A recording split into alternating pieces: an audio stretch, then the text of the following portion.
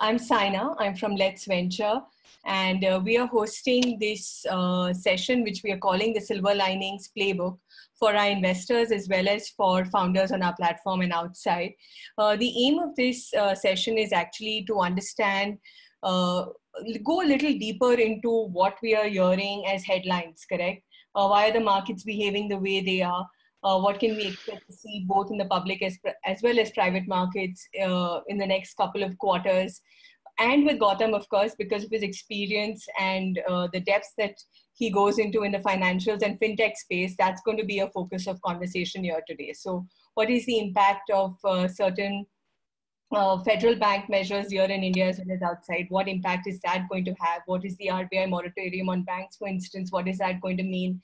Uh, are we looking at a credit free, freeze uh, down the line and what impact will that have on businesses big and small? Uh, for the financials that are listed and in the public space, those repercussions are perhaps easier to track. In the private space, a lot of players that have uh, literally raised hundreds of millions of dollars in doing what I think uh, Gautam put in one of his blogs as Kirana Tech. Uh, a large part of it uh, actually involved, involved funding of bringing financial products to that part of the market. What impact is going to, what impact are we going to see over there? Correct? So those are the things that we're going to talk about. Just a little bit of an introduction to uh, Gautam. Gautam is uh, presently the director of uh, looking at financials and fintech for India at Sanford Bernstein in Singapore. Uh, prior to this, uh, he was with CDC and with uh, Matrix Partners, which is uh, a large VC firm here in India and globally as well. So that's a little bit of his background. So I'm going to get right into it, Gautam. Thanks very much for joining us.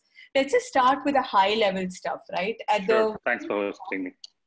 Yes at the very top, Gautam, what are you seeing in terms of the impact that uh, COVID is having on uh, the public market, uh, the stock markets, not just here in India, but globally? Perhaps you want to bring in a little bit of a view on what's happening in China and the rest of Asia yeah, as well yeah. in this space and give us a sense of where you see uh, the bottom coming. I know it's like catching a uh, dropping, but uh, what is your own sense of uh, what we should make of the market? Yeah, so you know, before uh, we get into the market, right? I mean, see, I mean, fundamentally, one should, uh, you know, I think we quickly move into, uh, you know, when we start talking about COVID, we quickly move into the economics and how it's having an economic impact.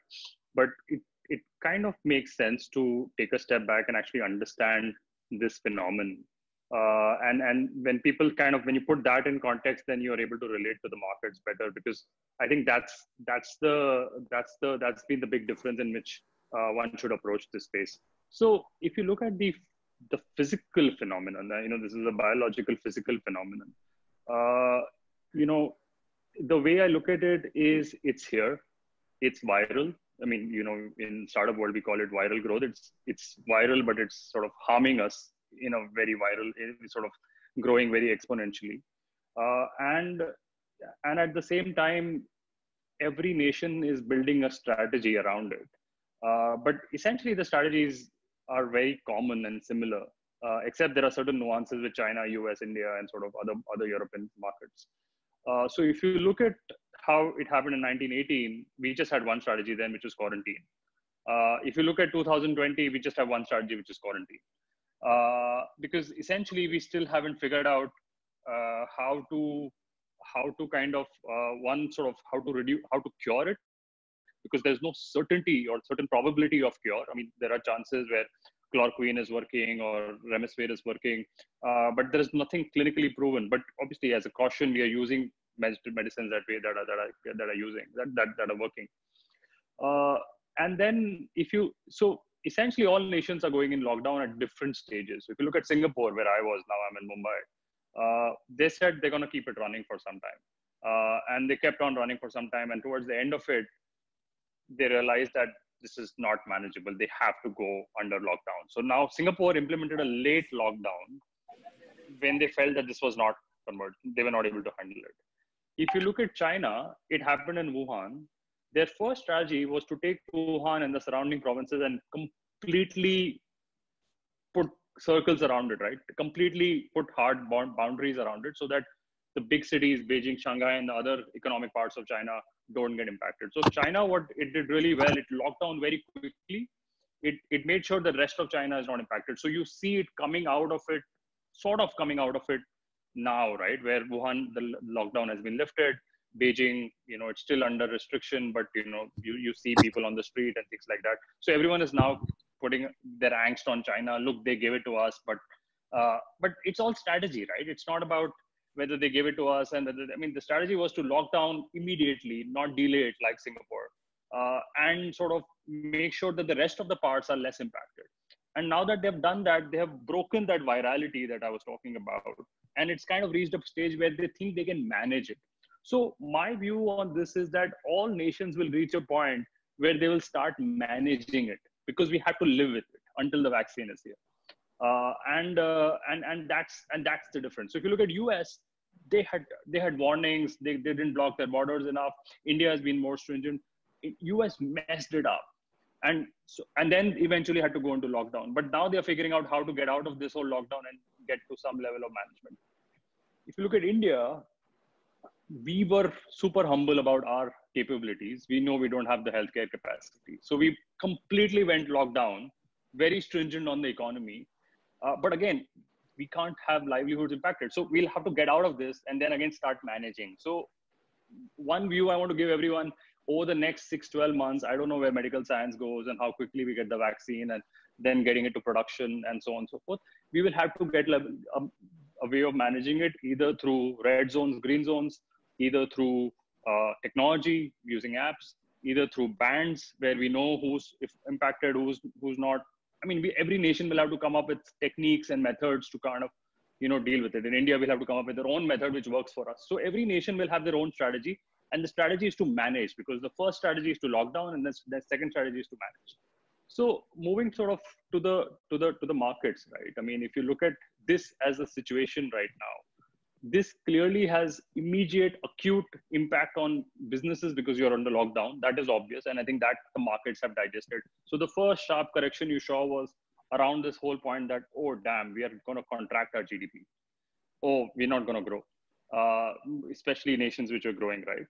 I think the second leg of this market impact is going to be around what is the slow digestion process around each of the businesses getting impacted from retail to auto to SMEs to consumer uh, and sort of the whole space. So I think what you're going to see over the next 9, 12 months is sort of slow digestion. So you still got that sharp acute correction and the rally back.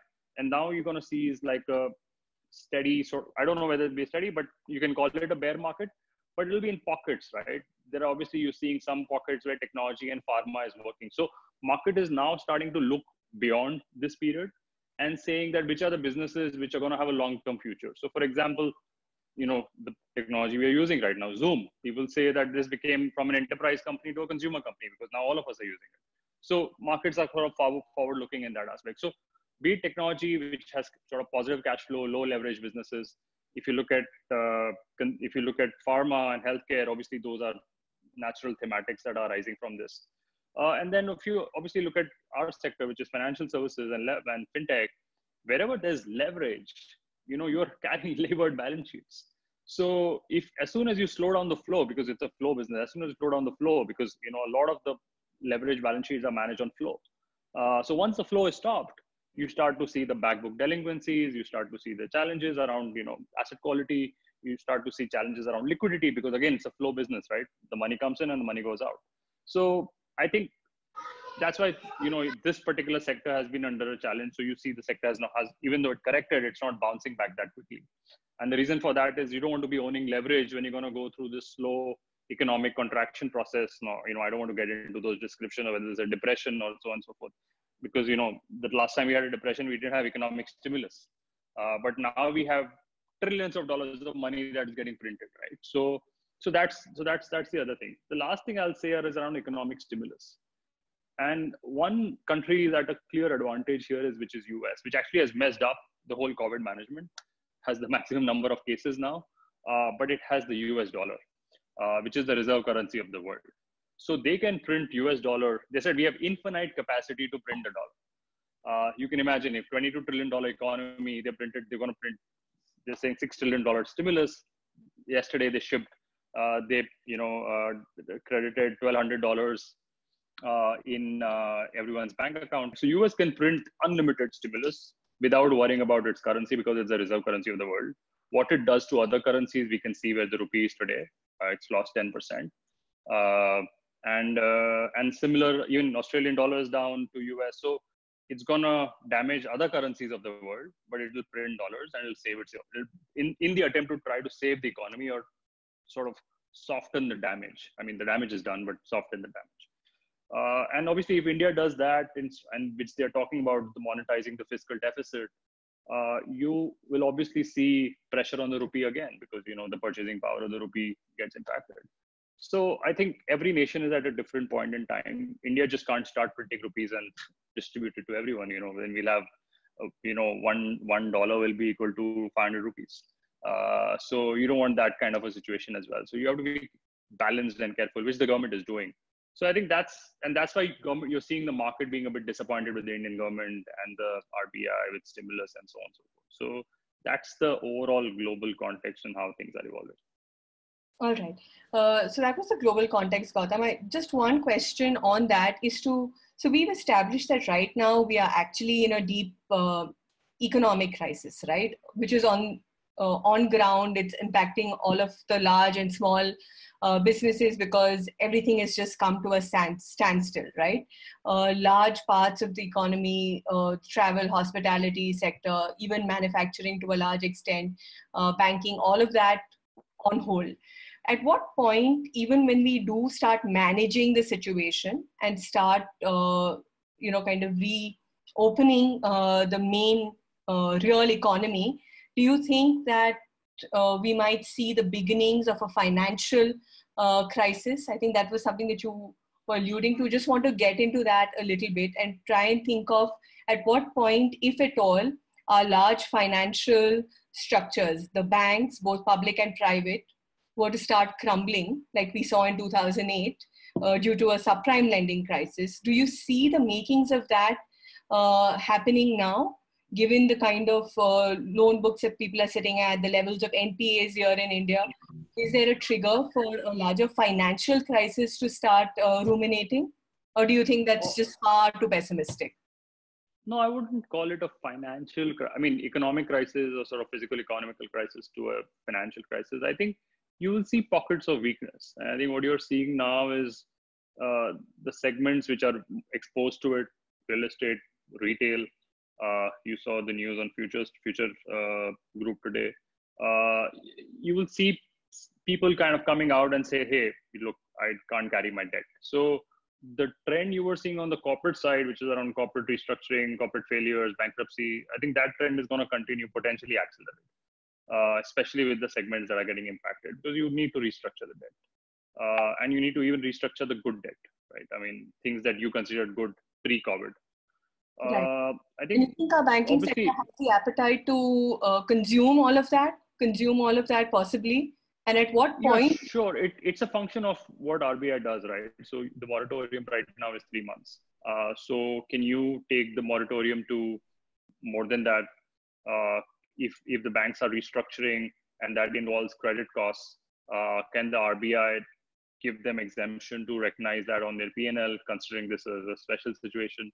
Uh, right. So obviously, I think RBI will do everything possible to prevent a financial crisis. I think one thing you can be sure of, I mean, whatever the banks need from the regulator, they're gonna get it, uh, and uh, they will kind of go reach out to the regulator to ask for all kind of exemptions. Uh, now there is a limit to that, but at least the front running or the front line financial banks and financial organization and banks in the country, uh, they're gonna get all the support. Now, obviously, there are segments which are like NBFCs uh, there are fintechs who do lending business, which are also like NBFCs, uh, except that they use technology. Uh, and uh, so obviously there are segments like that where they will have asset quality pressures with their customers, but the banks are obviously not giving them the reprieve, and that's an issue being considered, uh, which will involve them lobbying with the RBI and coming back. So I think for the marginal financial services, obviously the situation looks quite uh, challenging. Uh, and it, it becomes a question of survival, managing liquidity, and all the all the good things, uh, uh, all the things that you need to do in a situation like that. All right. Okay. So I'm going to start taking some questions, Gautam, and we can circle back uh, to some parts of this conversation, sure. especially on the fintechs in the private market and the startup space, right, and the repercussions over there. So I'm going to take one question that's come in from uh, Pradeep, who's the co-founder of a company called Crime Check. And he says that we give our legal risk report to banks and NBFCs, and our revenue depends on new loan accounts. What would be the impact on number of new loan accounts uh, being opened in the foreseeable future? Yeah, yeah. I think uh, Pradeep, what we'll see here is that uh, for the next three months is obviously an economic freeze because of the moratorium. Uh, my expectation is the next quarter will be digestion of that whole moratorium because now uh, what's happening is all the existing bank accounts like retail loans, personal loans, credit cards, all, all retail loans, uh, SMEs, they're all sort of at different stages, right? Some are seeking moratorium, some are not paying but have not seek, seek you know, have not uh, obtained the moratorium. So banks are going to digest that over the next three months in the second quarter. I think it's only in potentially by the third quarter, which is uh, sort of uh, the September to December quarter is when you'll see some kind of loan growth come back, uh, is what my expectation is. Uh, again, it depends on how bad the situation gets. It's quite fluid right now. So if it gets really bad on retail, uh, I'm talking sort of double digit NPAs. I'm not saying that's coming, but hmm. uh, I'm just saying if you get to that kind of a scenario, uh, you will see potentially even longer that the loan accounts and the new disbursements get impacted. So it's a fluid situation. At the minimum, you should assume that six months are kind of slow or wiped out, and then the next six months one can be hopeful. Uh, but it will come slowly and gradually. Maybe, obviously, it may be because of the festival season there'll be demand, but uh, uh, expect expect it to be sort of uh, uh, depending on the asset quality situation. We'll have to kind of take a call. All right. Um, Dinesh is asking how will this play out uh, in the coming quarters in India Globe? Okay, so we've covered that. Uh, in the Indian uh, public equity market, is the bottom behind us or yet to come? so I think the sharp bottom is behind us, uh, which is that one vertical fall. Uh, now you will see sort of sideways gliding down kind of movement is what my sense is. Uh, obviously, there'll be spikes. So it's going to be a whipsaw. So if there's a policy announcement, there's a stimulus, the market will jump, uh, which is a classic bear market whipsaw. You'll see. Uh, and then if you see uh, if you see bad results, because now we'll have to start digesting no growth, zero growth, negative growth, mm. all those kind of headlines that will come about. Uh, so you'll see market reacting to that. So expect six months of very choppy market uh, th- at least three months of very choppy market. And uh, individual sector bottoms will be driven by when, when the sort of the how the sectors behave. So uh, I, my views are out there in the press. So I'll say at least. Uh, uh, I, I, don't think the financial sector has seen a bottom. Uh, that's my that's my view. I could be wrong. Okay. So talking about the financial sector, okay, I'm going to refer to uh, that HDFC report, right? Uh, don't want to talk about the bank in particular per se, but just an observation that I pulled out from there, right? Which was one of the reasons why you, uh, why Sanford Bernstein actually downgraded uh, the company to an underperform was that there was a lot of unsecured consumer risk in a maturing consumer cycle, and that 80% of the uh, loans were actually an unsecured book to the salaried uh, class, right? What impact? I mean, now job cuts have become real, salary cuts have become far too real, uh, correct? At least, if not the job cuts yet. Uh, what impact will that have, right? The great middle class that is holding up a lot of everything in our economy, the banking sector, uh, you know, the taxes that we pay, and that's churned around small small sliver but you know the great indian middle what impact is it going to have? And therefore the impact on uh, you know just npas so corporate npa and all of that i think is easier to understand.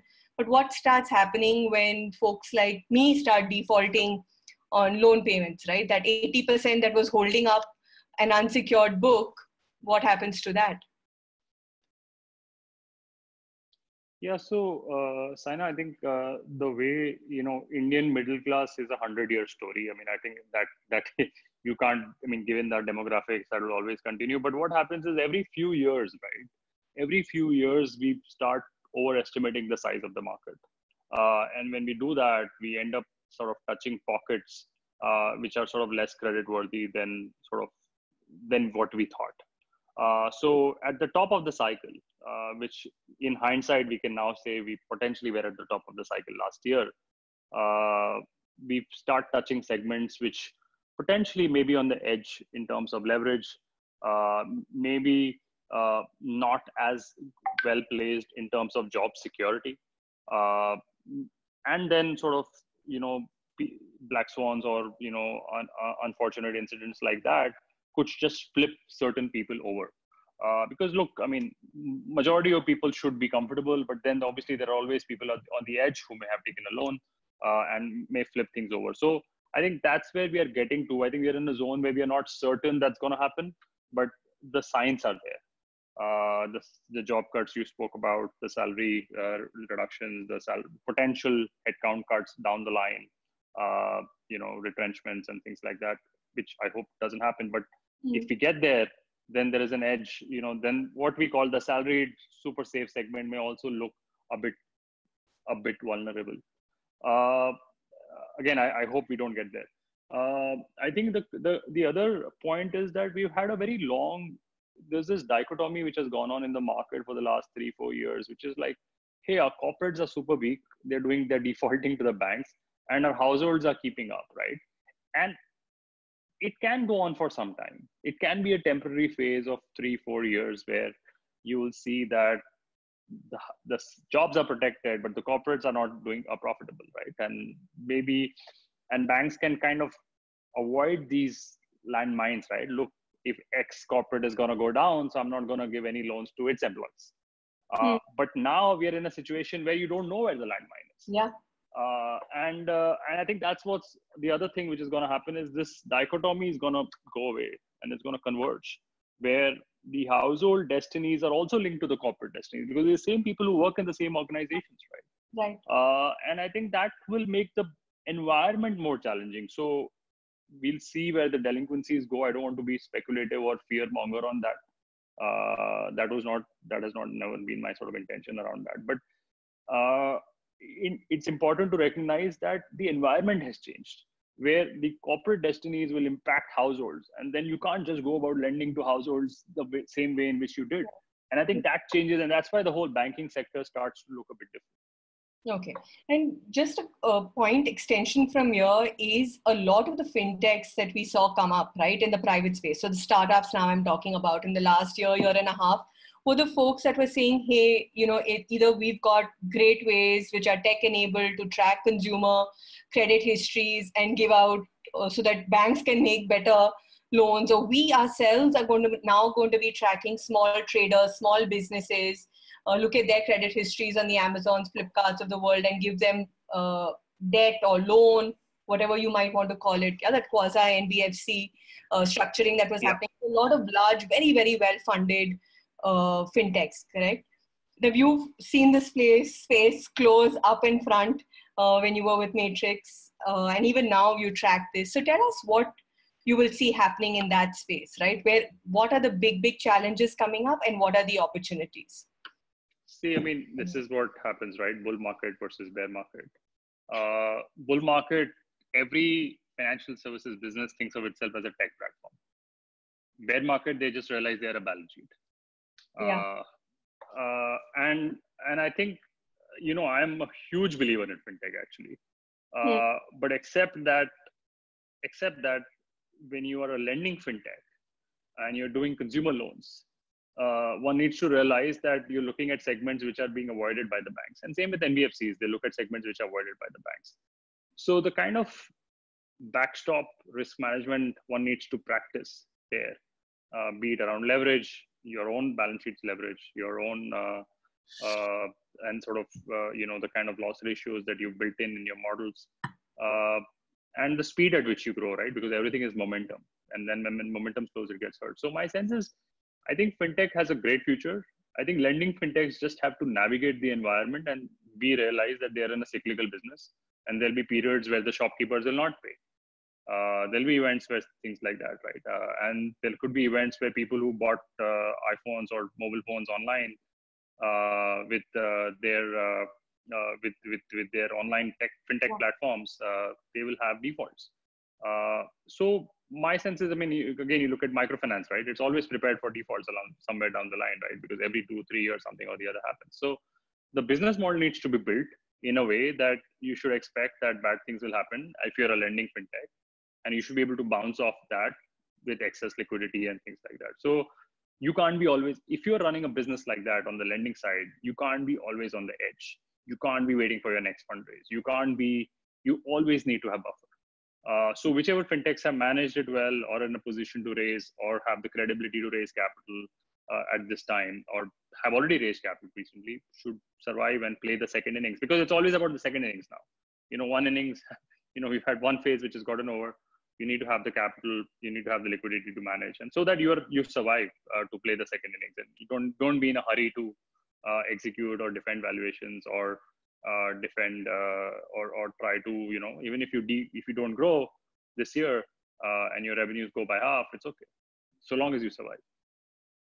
Revenues grow by half that's that's really optimistic. Yeah i mean if the if the loan book if the loan book contracts the revenues contract right so no i'm saying that even by half is very optimistic gautam I mean that that I, yeah. I don't think it's in yeah. my place. I don't know the individual cases, but uh, my sense is uh, you will see you will have to. I mean, how do you manage liquidity, right? You manage liquidity by collecting your money, and if you don't get liabilities, then you know you're able to kind of still maintain some kind of loan book and still honor your liabilities. And that's how you have to contract. So I've seen this cycle before with NBFCs and fintechs in 2008, 2013. There are periods where you have to con- where you have to shrink to survive, okay. uh, and that's okay. I think that's that's fine because you can play you can play the next innings. All right. Okay.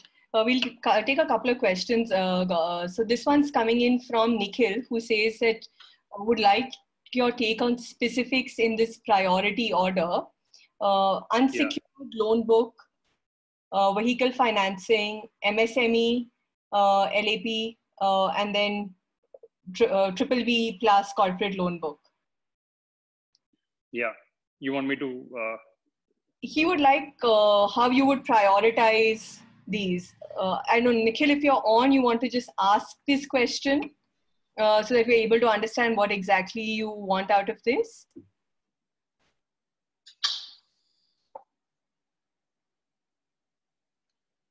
Yeah, I mean, I think I'll, uh, uh, I'll, I'll, I'll kind of, I okay. think I kind of get what he's, what he's hmm. trying to imply. Uh, so I think, uh, Nikhil, I think it's very simple, right? I mean, it's secured to unsecured. Uh, so obviously unsecured is challenging, uh, but unsecured is small ticket.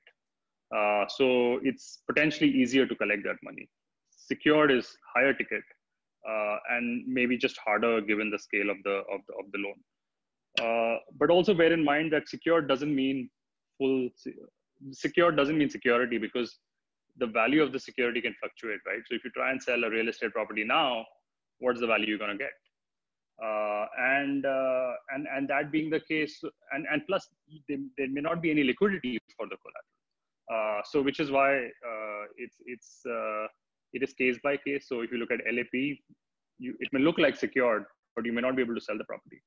Uh, if you look at SME, you look, it may be certain security around their inventory, around certain things.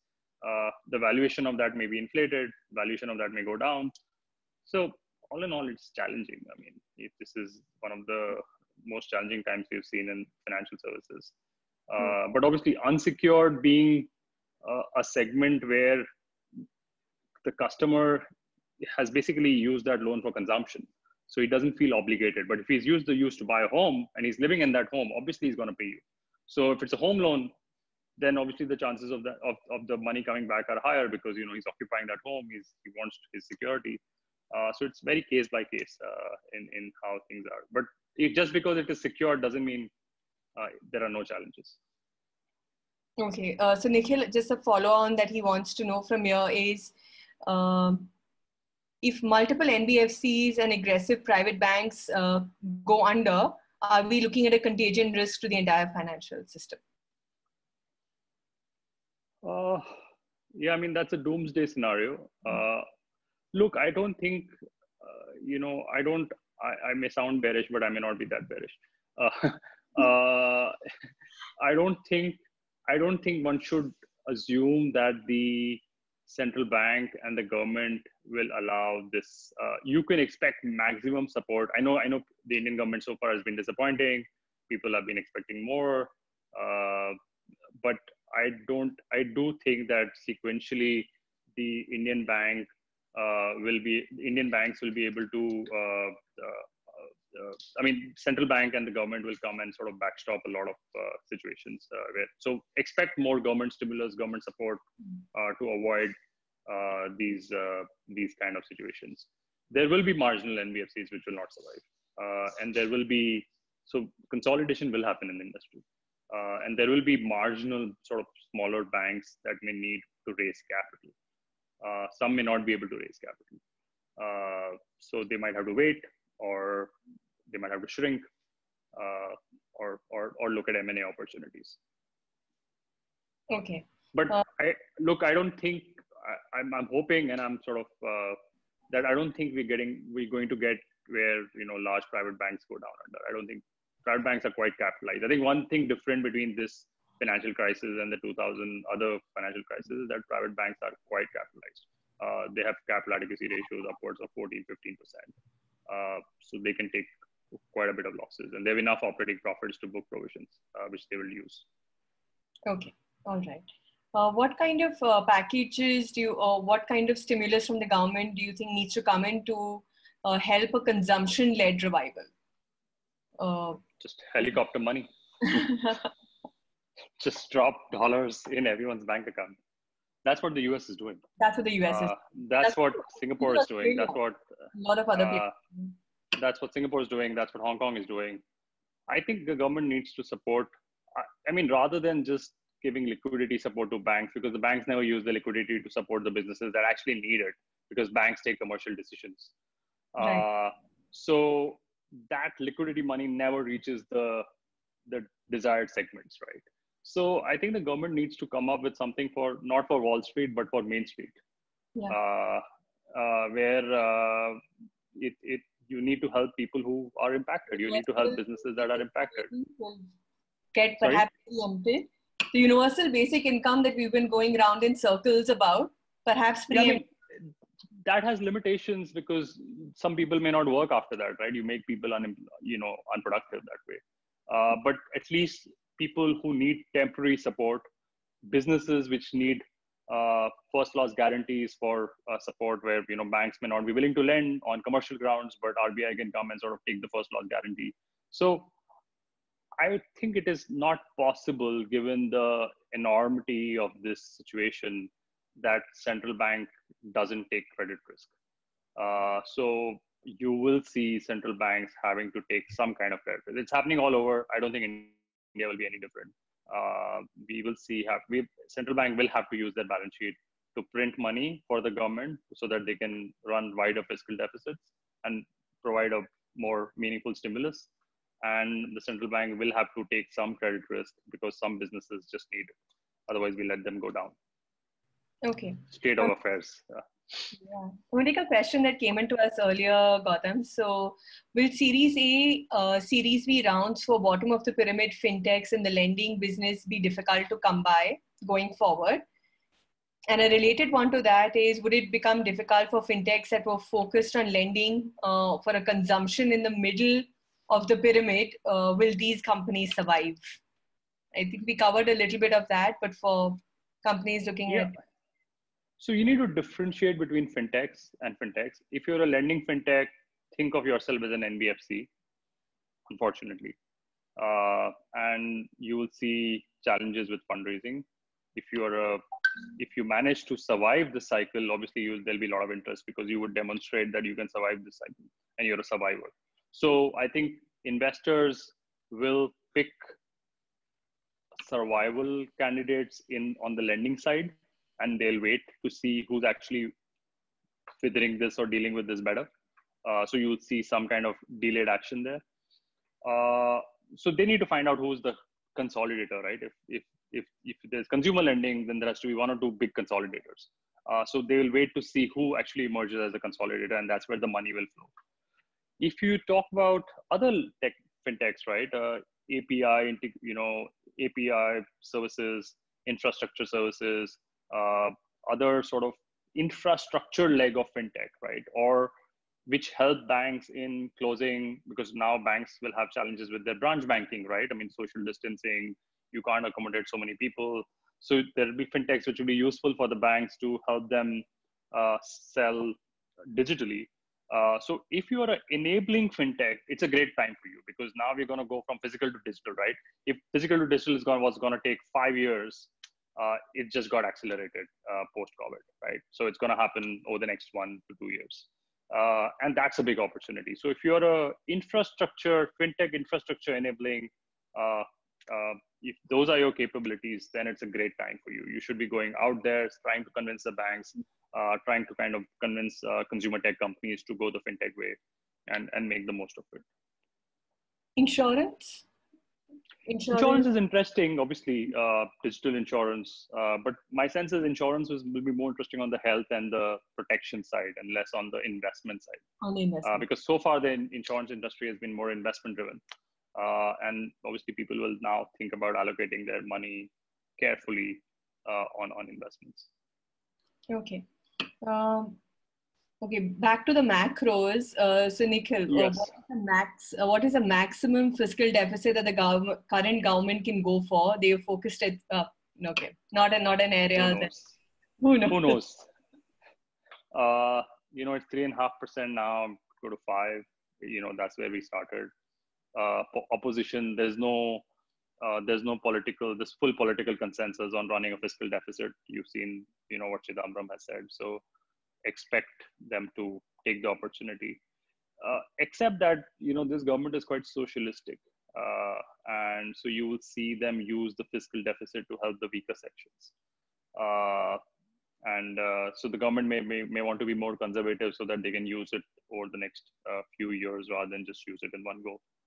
Uh, so I think what you will see in India is not a big bazooka, but like sort of few mini bazookas. Okay. All right. Uh, where do you see valuations going in upcoming funding rounds for startups? Uh, fintechs. Let's focus on the fintechs. But um, look, VCs have more bargaining power. Where do you think the valuations will? Yeah. I mean, that's mm-hmm. my unfortunate candid response. Yeah. So I have a question that's come in from uh, Sunita. Uh, she'd like to know if there are opportunities or where do you see things going in the P2P lending space. Do you think that's something that uh, will pick up now from a fintech startup point of view? Yeah, so I think P2P has been challenging in the Indian context. Uh, you will see uh, uh, it's not, I don't think P2P kind of took off uh, before as well in, in, in versus the current context. Uh, essentially, given that, you know, you need to create demand both ways. Uh, also P2P is also very difficult to manage credit risk for the investor. Mm-hmm. Uh, so I wouldn't say that P2P should. Uh, I mean, I, in general, lending will be challenging for the next few months. Uh, I don't think P2P would be any different. Okay, so if you have to think of, you know, uh, this is a demonetization moment of sorts, and I think the fillip over there went to payment uh, fintechs, right, who could enable payments. And if you have to think of this as that sort of demonetization moment in the fintech space. One space that you spoke of that will do really well are the guys who are doing the underlying actual tech architecture, right? So the tech in the fintech, the guys who are actually building that base, good, strong technology to service large banks. What other spaces, uh, Gautam, do you see opportunities for? Yeah, so as I said, right, I think uh, neobanks sh- should do well uh, because neobanks will help banks build a differentiated digital proposition. Uh, so I think anything which will make the financial services journey more digital from the physical branch. You know, you see how banking gets done in India, right? I mean, there are many times the banker comes home, home banking. Uh, all this is going to be challenging in the next, uh, as in this environment. So branch banking, home banking, all the kind of physical touch point related banking uh, or financial or any kind of digital distribution or any kind of distribution of financial services is going to be challenging. So anyone, any proposition, whether it's fintech infrastructure, API services, uh, or kind of different helping banks build a neo banking proposition uh, or independent neo banking propositions, all of those segments are going to do really well. Uh, and uh, my sense is up until now, we've seen, and I apologize to anyone who does fintech lending. Uh, I think up until now, a lot of fintech has been about lending. Uh, I think it will move to fintech services. Okay, all right. Uh, Gautam, in terms of just going back to uh, looking at the public markets, public markets and also asset allocation, right, from a point of view uh, as an investor, uh, where do you think, uh, you know, fixed deposit rates are going to go, for instance? Uh, what's going to happen to real estate? If you had to just give us a sense of what's going to happen in the next few quarters by the end of the year, if you're looking at someone is sitting on cash right now and wants to actually uh, start their investing uh, journey, how should they be playing the next few quarters? So I think gold will do well, uh, and one could look at that as an asset class. Uh, I think uh, you will see fixed deposit rates go south drastically. Uh, you will see yields corporate yields will be challenging because credit risks will go up. So corporate bonds will not be very interesting uh, in this environment. Uh, so my sense is bank returns will go down. Gold will be a better asset class. It will be a great market for traders in the stock market because of the volatility. Uh, but it's going to be challenging from a uh, from a long-term investment deployment point of view. So one will have to pick, one will have to be very selective in the stock market by sort of selecting pockets and sectors which will do well over the long term, uh, which is sort of more COVID-proof or more sort of uh, looking beyond just the next one year. All right. Okay. Uh, I think we've gone through most of the questions. Just a last request for anyone who has any uh, questions for Gautam or anything that they would like to discuss over here. We can take that up now. And uh, otherwise, I have just a concluding note and we can uh, close this session. So just waiting for anyone to send in their question either on the chat or you could unmute your mic and uh, go ahead and ask Gautam a question directly. Hi, this is Rahul, Rahul from Med Delivery. I hope you can hear me. Yep. Yes, yes we can. Yeah, yeah. Hi, Gautam. I joined late. So, but uh, there is this question that I have right now. So, I mean, uh, we are into B2B services and we know our end customers, those are actually shopkeepers. And uh, uh this one part that is not our core business, but what we have figured out is actually we are facilitating this credit between these distributors and shopkeepers. So, let's say, I mean, uh, yeah. you are a good shop, we know your demand pattern, we know how you pay. Yeah to us, right? So we actually uh, ask these distributors to actually allow you to credit for a certain limit and amount period, right? Uh, so do you think, I mean, these this kind of service where actually banks and these other people do not know about uh, if they can facilitate this credit to this particular guy, right? But we know because of their demand patterns and etc. Right? So should we focus on that particular area where we can actually increase this portion of our business? Yeah, I mean, look, certain things won't change, right? I mean, the shopkeepers will remain. Uh, we will have to deal with them differently using digital. So if you're doing anything which digitally enables them and helps their business, it's quite critical to what they do, right? So I would say, obviously, you know your business better than, but I would say anything which helps them, which digitally enables physical touch points, is a good business, right? Because uh, you are kind of building it for the future. Yeah. So the question was only for like uh, there are so many lending machines, but they can't lend it to everybody, right? And because they do not know certainly what what is going on underneath, right? If somebody is actually asking for you to give a, give you a loan, but we know that guy better because we are serving him from last one year, right? So and we we do this by providing a credit rating, and then we actually increase the amount also based on month on month, right? So, and that actually has increased uh, a large portion. I mean, 30% is actually on credit to all of these shopkeepers like, from distributors now. Um, and before that, it was only 10% or so. So, do you think, I mean, these kind of facilities can increase and where we can actually pick up few other external parties those are actually into lending itself uh, i think look i mean so long as your pipes are unique right and no one else does that people will find opportunities for you right be credit or anything else so i would just focus on making the distribution more differentiated and unique and then you will see multiple services uh, that come along uh, and sort of grow your business. So I would just focus on the pipe uh, mm-hmm. which you are building, mm-hmm. and then I'm sure you will get many opportunities to do that. But obviously, if you do things which everyone else is doing, then people will ask, "Why? How are you different?" So you'll have to think about that. Okay, I got your point. Great, thank you. Uh, so a macro question uh, from Paras Gautam. Uh, yeah. Is there a macroeconomic risk when the Indian government bonds rated BBB uh, fiscal deficit increasing, obviously, and the rupee going down, won't FDI slow down and therefore the large VC capital uh, dry up? Uh, I think VCs are quite capitalized, right? Because they raised big rounds recently. So the big VCs already have large funds which they are willing to deploy.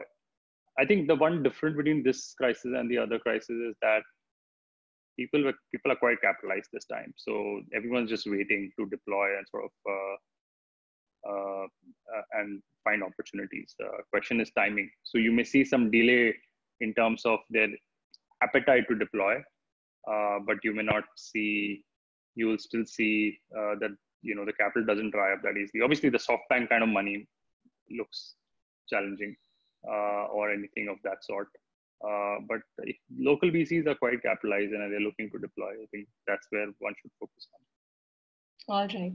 Or global VCs who have local presence. Hmm. Okay. And uh, LPs uh, issuing notes saying that uh, you know call to money might slow down, not wanting to do. Is it just too much press? Not really, because I think many of the high quality VCs have really high quality LPs who have long term money. So I I don't think uh, that's the situation. All right. And for angel investors, early stage investors, uh, Gautam, uh, certain uh, silver linings that you want to point out uh, for them in terms of in a market like this, uh, and if they're looking to invest into early stage startups, uh, what are the silver linings from them? I think I would say potentially I think it's a great time for digital, right? I mean, this is essentially, I mean, we're working from home, we're on a digital platform. Uh, so my sense is it's a great time to be an early stage tech investor, uh, except that you may have to pick and choose your trends. Uh, so I, I think anything digital, right, including fintech digital, has accelerated. What is challenging is risk, uh, which is balance sheet risk. Uh, so long as one stays navigates that segment well, uh, I think anything in digital, digital services, uh, or for that matter, any kind of distribution businesses. Uh, like if you look at now, uh, Swiggy, I mean, it was a food delivery business, but now it's become actually a distribution business. So markets and TAMs are actually expanding. Uh, so it's a great time actually to be a tech investor. Uh, if you see the segments in the market which are doing really well in the US is tech you know stocks are at all-time highs despite this. Thanks a lot, Gautam, for joining us today. Thanks a lot for your yeah. time and for patiently uh, taking us through all of this. Thanks a lot for joining us.